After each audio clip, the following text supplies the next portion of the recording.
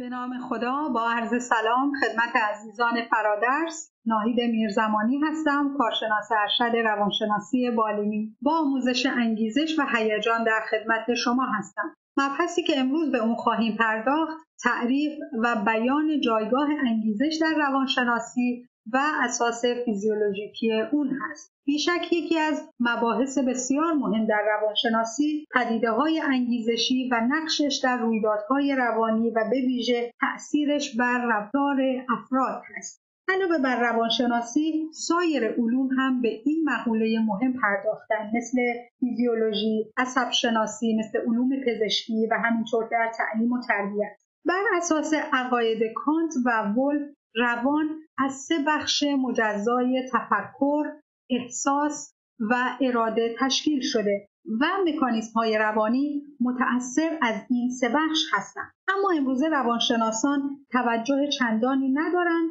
و اکثر اونها از واژه انگیزش و هیجان به جای اراده برای توصیف رفتار استفاده می‌کنند.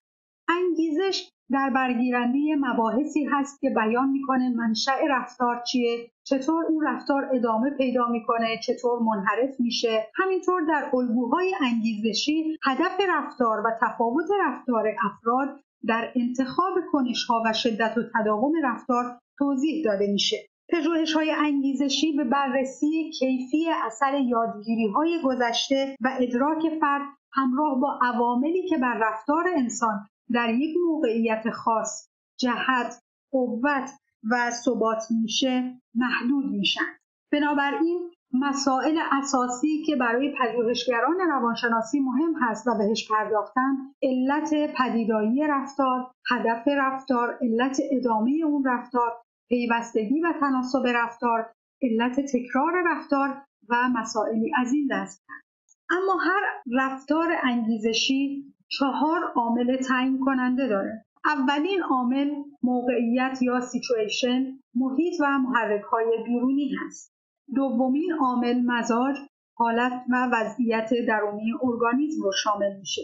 هدف که شامل هدف رفتار منظور و گرایش هست و بالاخره ابزار یا اینسترومنت که توصیف کننده ابزار دستیابی به هدف هست. با توجه به اینکه تعریف انگیزش بستگی به مفاهیم نظری روانشناسان داره بنابراین تعریف هر کدوم از اونها می‌تونه صحیح باشه مفهوم انگیزش در هر کدوم از نظریه ها به صورت مفاهیم و سازه های اختصاصی از قبیل کشاننده، غریزه، نیاز، تلاش و انتظار هست.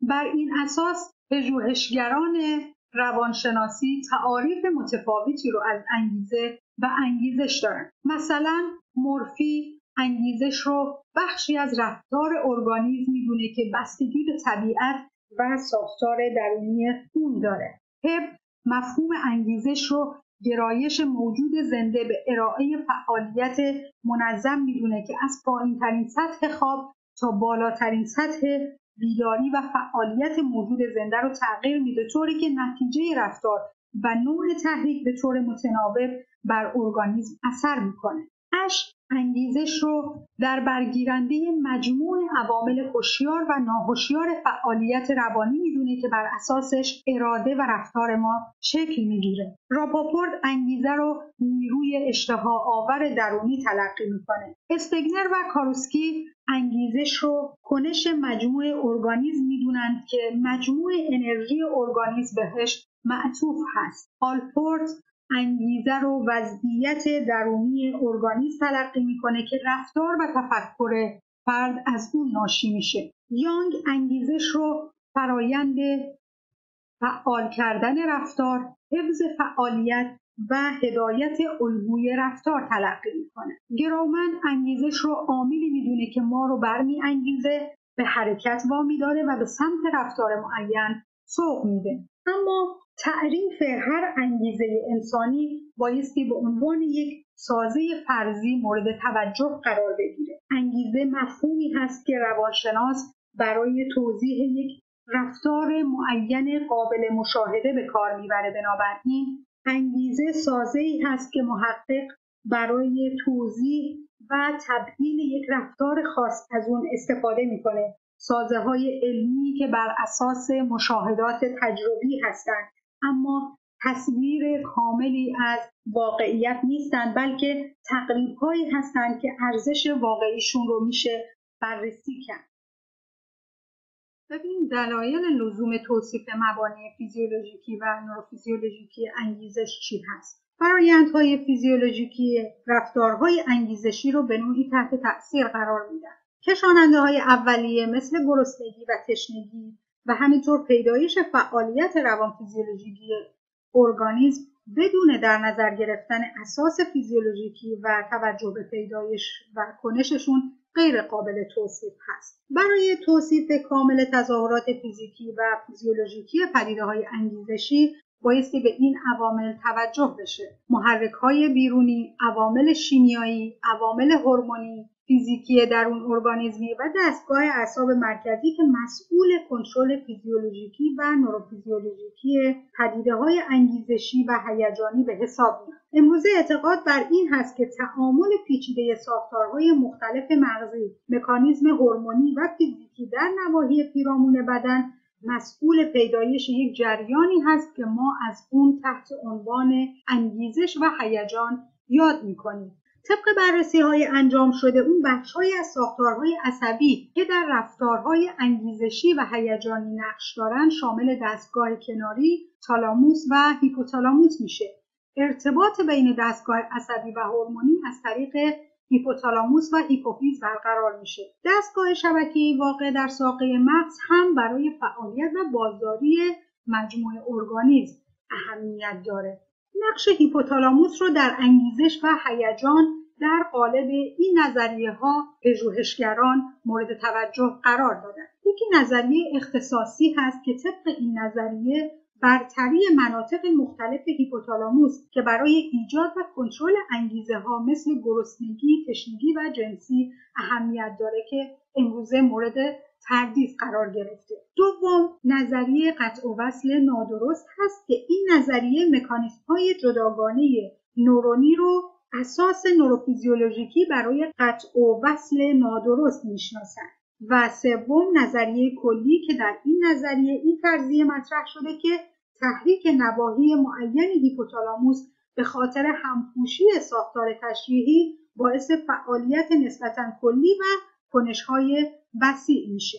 چگونگی دریافت محرک و پردازشش. ارگانیسم از طریق گیرنده ها تحریک رو از محیط دریافت می‌کنه و بر روشون پردازش انجام میده. در ساده ترین حالت ها یعنی باستاب ها محرک حسی وارد شده از محیط ممکنه توسط گیرنده دریافت و از طریق تار حسی مرکز رسان به نخاع شوکی منتقل میشه و بعد از ارتباط سیناپسی از طریق تار حرکتی پیرامون رسان باعث پاسخ عضو عمل کننده میشن. سایر فرایندهای فیزیولوژیکی به وسیله دستگاه عصب مرکزی صورت می‌گیره و ارگانیزم بین محرک پاسخ به عنوان یک متغیر فرضی عمل می‌کنه که مطابق الگوی محرک ارگانیزم و پاسخ در روانشناسی هست. اما دستگاه اعصاب به دو بخش اعصاب بدنی یا حیوانی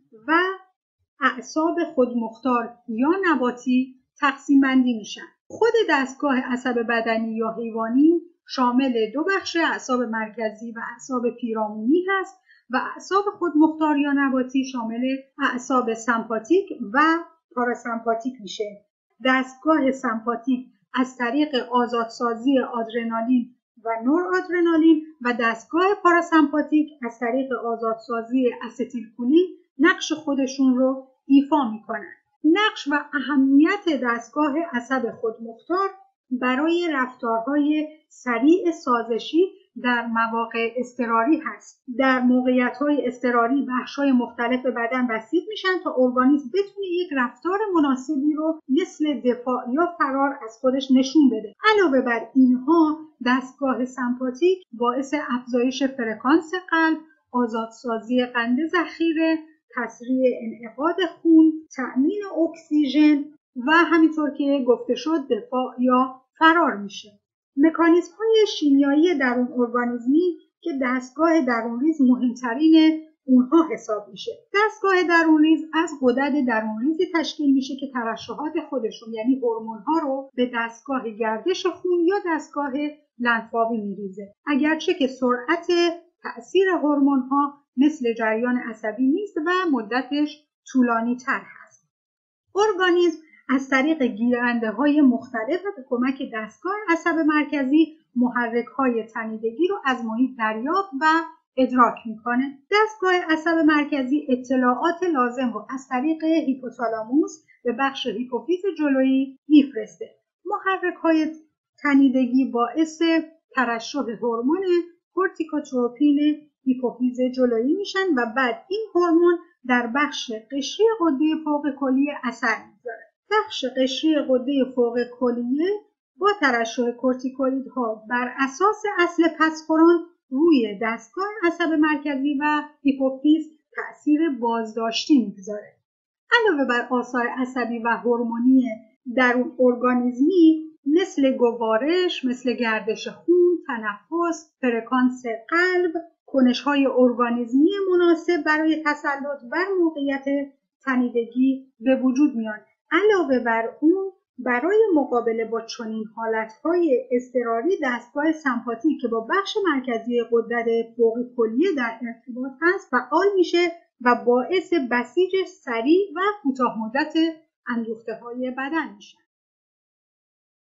در ادامه بحث می‌پردازیم به تأثیر متقابل محرک های بیرونی، عوامل فیزیکی شیمیایی و هدایت دستگاه عصب مرکزی. نیازهای اولیه بدن بر اساس اصل تعادل حیاتی از طریق دستگاه عصب خودمختار تنظیم میشه. در جریان ارضا این نیازها به خوبی از اصل تعادل حیاتی پیروی می‌کنند در این زمینه بین شرایط بیرونی تحریک و فرایندهای فیزیولوژیکی ارگانیسم ارتباط تنگاتنگی وجود داره. ما به تنظیم درجه حرارت بدن تنفس و درد چرخه خواب و بیداری گرسنگی و تشنگی تمایلات جنسی و درد به صورت مختصر خواهیم پرداخت. به منظور حفظ تعادل زندگی درجه حرارت بدن موجود زنده بایستی ثابت بمونه. چنانچه درجه حرارت بدن موجود زنده از طریق سوخت و ساز بدن گردش خون در رگها یا از دست دادن گرما از طریق پوست کم بشه فورا یه مکانیزم خودمختار در بدن به راه میفته که مجددا درجه حرارت بدن رو به اون میزان ثابت قبلی خودش برگردونه. به طور کلی برای تنظیم درجه حرارت بدن هماهنگی متقابل دستگاه های حسی دستگاه های حرکتی و دستگاه های مهار کننده یا کنترل کننده لازم هست که دستگاه های حسی شامل گیرنده های حرارتی پوست و انتهای آزاد بعضی از اعصاب دستگاه های حرکتی شامل اتساع رگهای خونی تغییرات غدد عرقزا تغییرات متابولیسم تاثیر ها فعالیت بدنی و ماهیچهای هست و بالاخره دستگاه مهار کننده یا کنترل کننده هم که شامل مرکز حفظ حرارت در بخش پشتی هیپوتالاموس و مرکز کاهش حرارت در بخش جلویی هیپوتالاموس هست. مکانیزم های عصبی تنفس یعنی دم و بازدم در منطقه پیاز مغز تیره واقع در ساقه مغز جریان پیدا می‌کنه که برای عمل دم علاوه بر غلظت آنیدرید کربونیک خون هدایت باستابی عصب دهم یا همون عصب واک هم لازم است تکانه های دیگه ای که در مرکز تنفس مؤثرند از کورتکس، پوست، خون و گیرنده های دیواره سرخرگی هم ناشی میشن. مکانیزم دب به صورتهای باستابی از طریق تاثیر دستگاه عصب نباتی و همون سمپاتیک و پاراسمپاتیک هورمون ها که هورمون ضد اضطرار رو شامل میشه دستگاه عصب مرکزی و بالاخره بر اثر تغییر غلظت مواد شیمیایی خون. به راه میفته تنظیم عمل درد به فرایند یادگیری هم بستگی داره. مثل تمرین پاکیزگی در دوره تحول خودسالی بایستی به این نکته توجه بشه که جریان درد شدیدا تحت تاثیر محرک های هیجانی هم قرار داره. اما بپردازیم به چرخه خواب و بیداری. خواب یکی از نیازهای اساسی هر موجود زنده به حساب میاد. نتایج به دست اومده از آزمایش های محرومیت خواب نشون میده که ارزاع این نیاز دوره‌ای برای کنش‌های تنی و روانی موجود زنده اجتناب ناپذیر هست. احتمالا هدف فیزیولوژیکی خواب هم این هست که سلول های عصبی فرصت ترمیم و استراحت داشته باشند و به ویژه قابلیت کنش و توانایی خودشون رو بهبود ببخشند. علاوه بر نظریه استراحت که طبقش خواب وظیفه ترمیم کنش رو به عهده داره نظریه دیگه به نام نظریه سازش هم مطرح میشه که به موجب اون چرخه خواب و بیداری برای بقای نوع اهمیت داره چرا که خواب باعث کاهش پاسخ ارگانیسم در این مرحله زمانی و موقعیتی میشه. بر اساس این نظریه اینطور استنباط میشه که رفتار خواب هر نوع موجود زنده برای افزایش سازش بنا به ضرورتهای محیطی معین در جریان تکامل شکل گرفته. ویژگی های حالت خواب شامل آرامش بدن، چشمان بسته، کاهش آمادگی و سطح فعالیت، کاهش سطح هوشیاری، امواج مخصوص موجنگار مغزی و در بعضی مواقع هم وجود رؤیا به عنوان تظاهر جانبی حالت خواب به حساب میاد اما بر اساس تحقیقاتی که یوانوویچ انجام داده مرحله خواب کند به پنج وهله تقسیم میشه که البته مرحله خواب متناقض هم به این پنج مرحله اضافه شده که ویژگی های مرحله خواب شامل خواب یا انتقال، خواب رفتگی، خواب سبک، خواب متوسط و خواب عمیق هست. مرحله خواب دیدن یا خواب متناقض هم ویژگیهاش می‌تونیم به حرکت لرزشی چشم اشاره بکنیم. حرکت لرزشی دست و پا تحریک آلت جنسی افزایش فرکانس قلب و همینطور افزایش تنفس. رویای شکلی از فعالیت تخیلی حساب میشه که ظاهرا هم عمومیت داره و همه گروه های سنی رو شامل میشه. بحث رویا در روانشناسی تحت تاثیر نظریات فروید هست. فروید عقیده داشت که رویا راه اصلی به سوی ناخوشیار هست و از طریق تحلیل رؤیا میشه اطلاعاتی رو در مورد آرزوهای ناهوشیار و امیال مفرد و همینطور نیازهای آشکار نمادی به دست آورد. اگرچه که اساس فیزیولوژیک چرخه خواب و بیداری رو به فعالیت و عدم فعالیت دستگاه شبکه‌ای مرتبط می‌دونن و اثر مکانیزم پسخوراند بین کورتکس پیاز مغز تیره و دستگاه شبکه‌ای رو با اهمیت تلقی می‌کنن امروزه با اطمینان میشه گفت که خواب به افزایش حالت انفعالی دستگاه فعالساز سعودی شبکه‌ای بستگی نداره بلکه بیشتر به افزایش فعالیت مناطق زیرقشری مربوط هستش. پژوهش های جدید نشون میده که چرخه خواب و بیداری بدون مغز پیشین ادامه پیدا می‌کنه. بیمغزی سازی در پایین پیاز مغز تیره هیچ گونه تأثیری بر چرخه خواب و بیداری نداره و مراکز راهانداز خواب از دیانسفال یعنی مغز میانی تو پیاز مغز تیره قرار دارد با وجود برتری نقش مناطق زیرقشری در چرخه خواب در این ام مغز جلویی بخش جلویی هیپوتالاموس و بخشی از تالاموس و جسم مخطط هم اهمیت دارد اما ببینیم مکانیزم گرسنگی و تشنگی چی؟ گرسنگی و تشنگی طبق اصل تعادل حیاتی و اصل کاهش کشانندهی به عنوان نیازهای نخستین برای زنده موندن و کنش موجود زنده ضرورت داره. پدیده گرسنگی و سیری از طریق دو مرکز مخالف در هیپوتالاموس یعنی مرکز گرسنگی و مرکز سیری هدایت میشن که اینها بر اساس نظریه سوخت و ساز به تغییرات سوخت و ساز انرژی در کبد بافت چربی و اعما و احشا بستگی داره و بر اساس نظریه تعادل حرارتی به افزایش یا کاهش درجه حرارت بدن همینطور به محرومیت های غذایی بستگی داره به محرک های بیرونی انرژی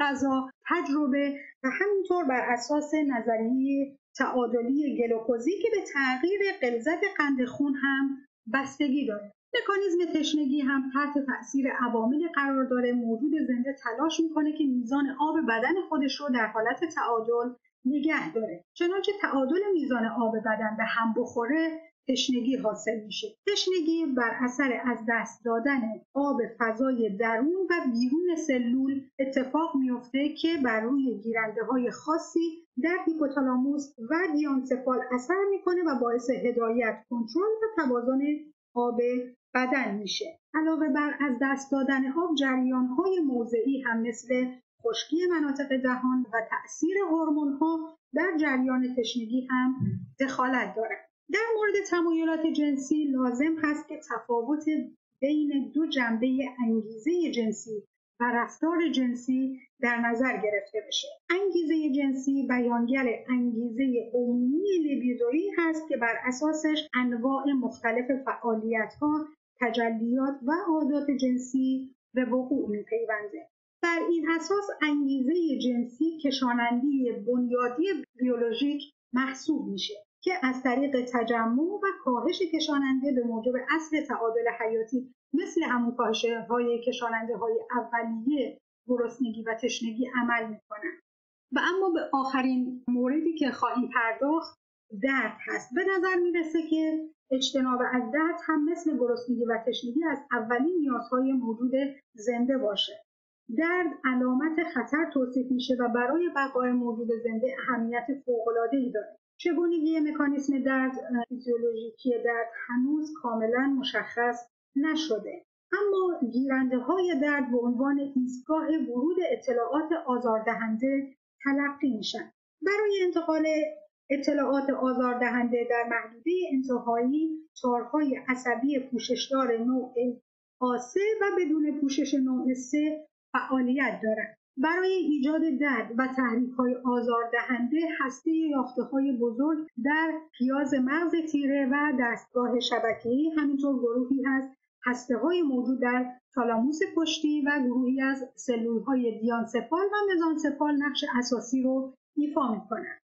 ببینیم ویژگی های دستگاه شبکه‌ای موجود در ساقه مغز چی هست. مشاهدات موروزی و مگان نشون میده که تحریک ناحیه معینی از مغز گربه باعث تغییر پتانسیل امواج موجنگار مغزی میشه و آسیب در منطقه ساقه مغز حیوانات رو در مرحله خواب قرار میده که اثرش در موجنگار مغزی کاملا مشهود هست.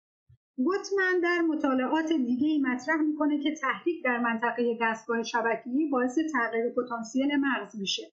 امواج مغزی ثبت شده مثل امواجی هست که هنگام فعالیت ارگانیسم ثبت میشه. به همین دلیل دستگاه شبکه‌ای رو دستگاه فعالساز سعودی شبکه‌ای میگن و قرینش دستگاه فعالساز نزولی شبکه‌ای هست که برای افزایش تنوع یا تونوس ازولانی اهمیت داره. در تعادل تحریک وقفه یا تعادل جوی دستگاه شبکی از طریق عوامل مختلفی برقرار میشه که تحریک با کاهش اکسیژن تبادل آنیدریک کربونیک آدرنالین گرسنگی و تأثیر های عصبی ناشی از برجستگی حلقوی و قشر مخ صورت می‌گیره.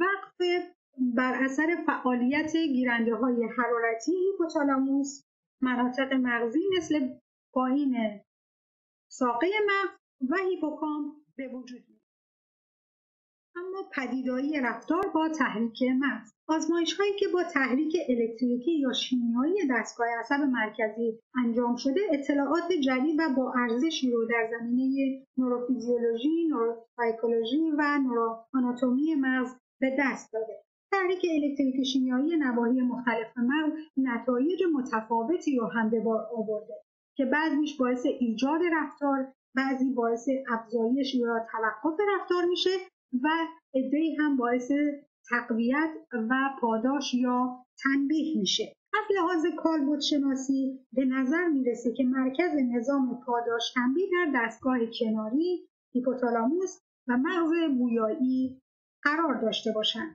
علاوه بر این اثر پاداش هم میشه از طریق تحریک مناطق هیپوتالاموس، تالاموس و بخشای مختلف دستگاه کناری، دستگاه شبکه‌ای و ساقه مغز ایجاد کرد. همینطور اثر تنبیه رو میشه از طریق تحریک دیانسپال که همون هیپوتالاموس و تالاموس باشه و دستگاه کناری یا بادامه رو مشاهده کرد. همینطور محدوده بطن سوم رو هم می‌تونیم در نظر بگیریم.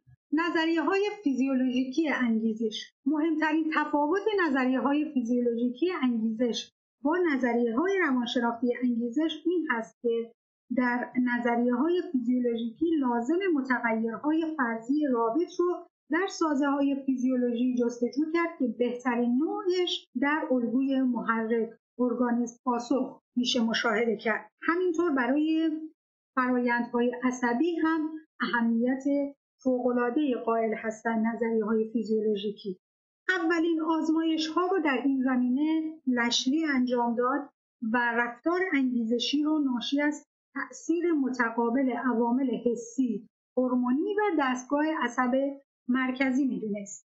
مورگان نظریه رو مطرح کرد به نام انگیزه مرکزی که این حالت انگیزه مرکزی نوعی مکانیزم انرژی دهنده کنترل کننده و راه انداز رفتار محسوب میشه. بین را معتقد هست که حالت انگیزه مرکزی در وحدت جریان های عصبی و تعریف های محیطی نقش مهمی رو ایفا می‌کنه. فرضیه بین را بر این اصل استوار هست که تقویت و بروز کنش از طریق مکانیزم های نوروسایکولوژی صورت می‌گیره و اصل تقویت در حقیقت نوع خاصی از انگیزه هستش. لینزلی با ارائه نظریه فعالسازی به نقش مهم دستگاه فعالساز سعودی شبکه‌ای در تأمین انرژی و بروز رفتار انگیزشی اشاره می‌کنه.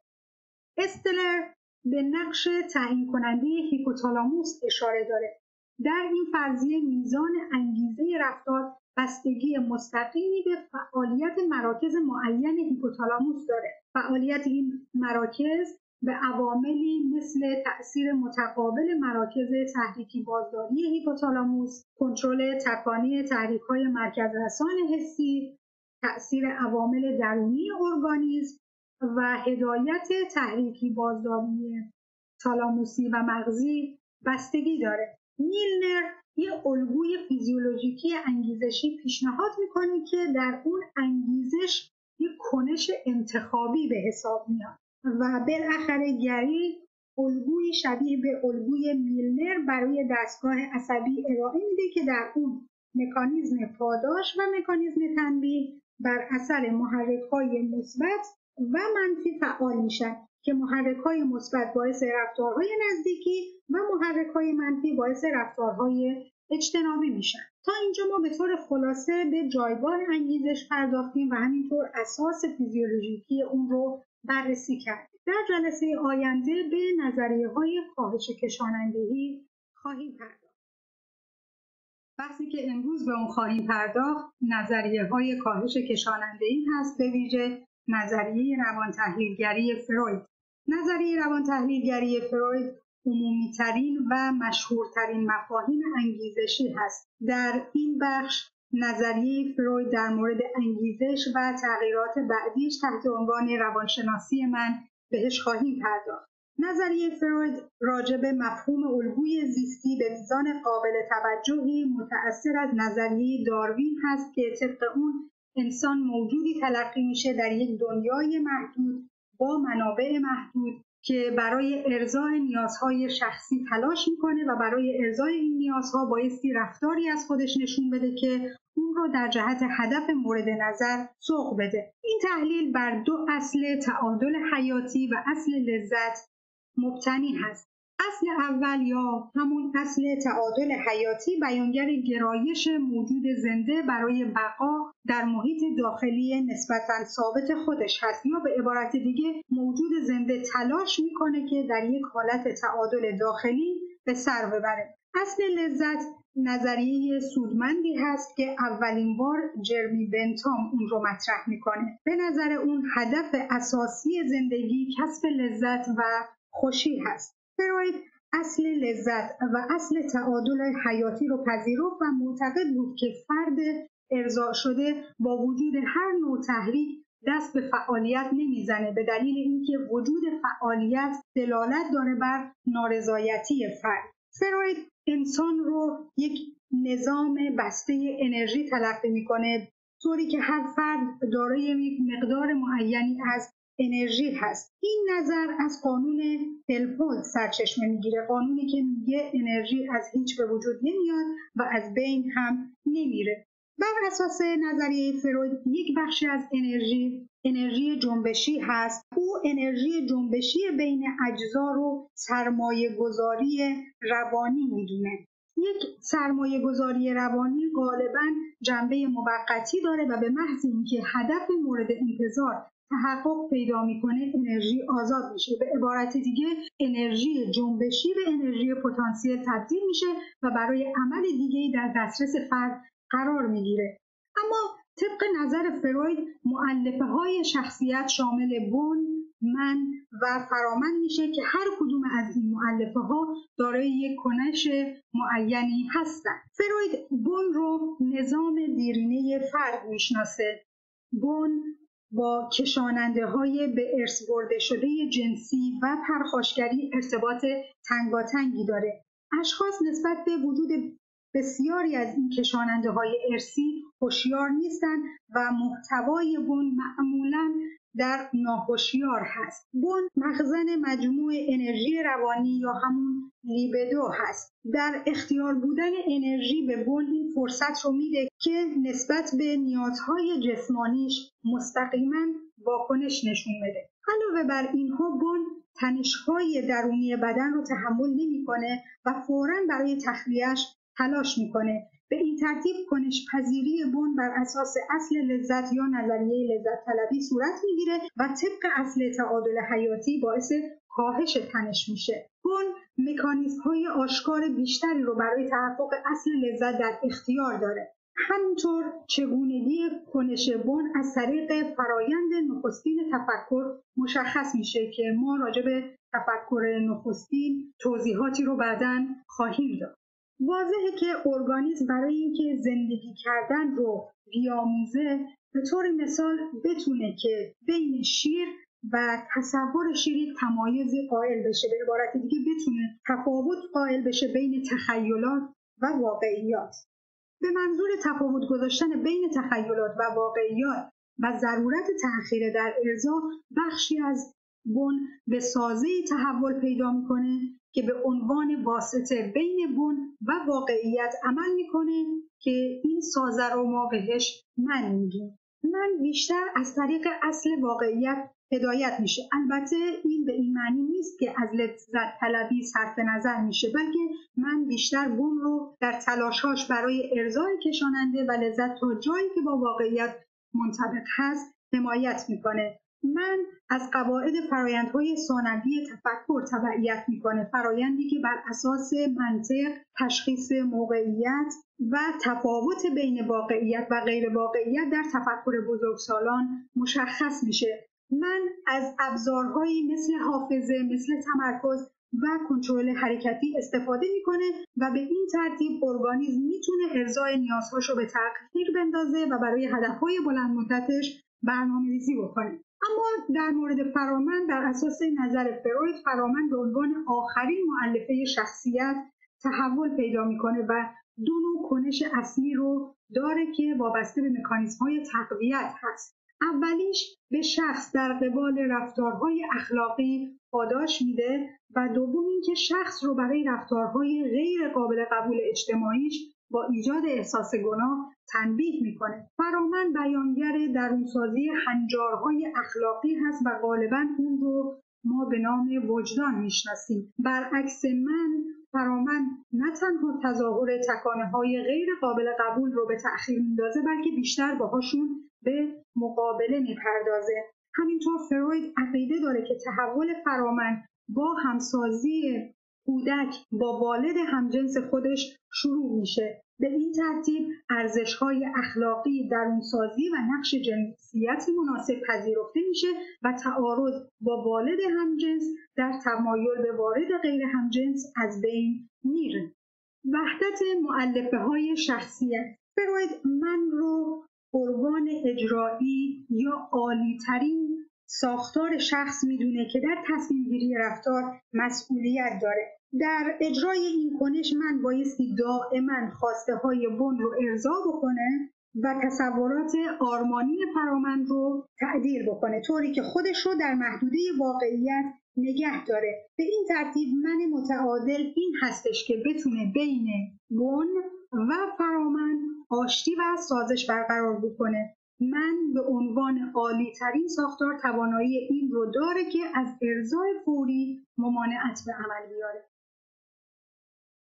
بریم به سراغ کشاننده ها فروید کشاننده ها رو به عنوان منبع انرژی پویای درونی می‌دونه پویا از این جهت که به جای خارج شدن از موضوع به اون وارد میشه و درونی به این دلیل که از فرایند متابولیسم بدن ناشی میشه و منبع انرژی ارگانیسم هست که اونو به حرکت وامی داره یا انرژیش رو تامین می‌کنه. به این ترتیب کشاننده ها یک هدف یعنی ارضا شدن رو دنبال می‌کنن. یک کشاننده با نیاز بدنی تطبیق پیدا می‌کنه. در عین حال کشاننده ها فقط رفتارهای باستابی رو به وجود نمیارن بلکه بیشترشون روانی و بیانگر امیال و آرزوها هستند به همین خاطر فروید میگه که کشاننده یک معیاری هست جهت فعالیت زیر نفوذ روان. فروید بارها نظریه خودش رو تغییر داد گاهی یکی گاهی هم دو تا کشاننده رو اساسی فرض می‌کنه.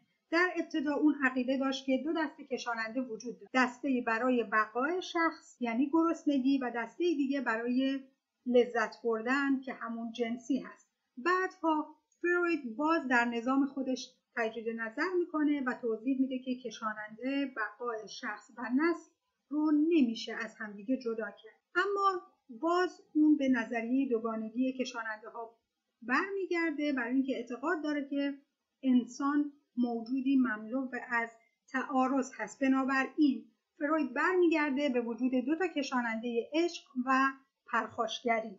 عشق که در برگیرنده گرایش بقای شخص هست و پرخاشگری که آشکار کننده کشاننده مرگ. پرخاشگری خودتخریبی هست که جهت ویرونی داره. اما اشاره کردیم که رفتار بر اساس تمایلات کشاننده بن صورت می‌گیره که این تمایلات نشون دهنده درخواست های کشاننده بدن هستند که رفتار رو به وجود میارن و به این ترتیب فشار کشاننده ای رو کم می‌کنن. بنابراین طبق این الگو ما می‌تونیم بگیم که سرمایه گذاری روانی منجر به رفتار جهتدار به سوی موضوع و آزاد شدن سرمایه گذاری در واقع کشاننده رفتار کشاننده ای و ارزای کشاننده هست. آزردگی رفتار و ارزای کشاننده که میشه همون لذت. رفتار مشاهده شده بر اساس الگوی رفتار نخستین فروید هست که وابسته به اصل لذت و لذت طلبی هست که البته این الگوی انگیزشی با جریان تفکر اصلا ارتباطی نداره و فقط به رفتارهای مربوط میشه که به وسیله کشاننده های نخستین برانگیخته میشن. در کنار الگوی رفتار نخستی سه نوع الگوی انگیزشی رفتار رو فروید عنوان می‌کنه. یکی از اونها الگوی تفکر نخستین هست که اندیشه ها می‌تونن مثل رفتار مشاهده شده بر اساس درخواست های کشاننده یا تمایل به وجود بیان. و ارزای تمایل هم در صورتی امکان پذیره که فرد تجربیات گذشتش رو با موضوع ارضا شده به خاطر بیاره و تخیل بکنه. در الگوی رفتار نخستین و الگوی تفکر نخستین فروید کشاننده ها به خصوص تمایلات کشاننده ای به آشکار شدن این دوتا الگو بستگی داره. طبق این جدول چهار الگوی انگیزشی فروید به صورت خلاصه عنوان شده که تفاوت الگوی نخستین و ثانویه در این هست که در الگوی ثانوی من واسطه بین ظهور تمایل و ارزای تمایل هست. تفاوت اصلی الگوی رفتار و تفکر این هست که الگوی رفتار مربوط به رفتار مشاهده شده است. در حالی که الگوی تفکر با رویدادهای ذهنی و شناختی برای رسیدن به هدف سر و کار داره. روش علمی فروید بر چه اساس بود. فروید ابتدا یک فرضیه رو مطرح می‌کرد و بعد در جلسات درمان به مشاهده بیماران خودش میپرداخت. داده های معتبری رو جمع آوری می‌کرد و بعد فرضیش رو بر اون اساس تغییر می‌داد. نتایج مهمی که به دست اومده توسط فروید یکی هوشیاری همیشه باعث انگیزش یا دلیل واقعی رفتار نیست و دیگری اینکه یک رفتار گاهی توسط نیروی تعیین میشه که با وجود عمل در سطح روان به هوشیاری نمی‌رسه.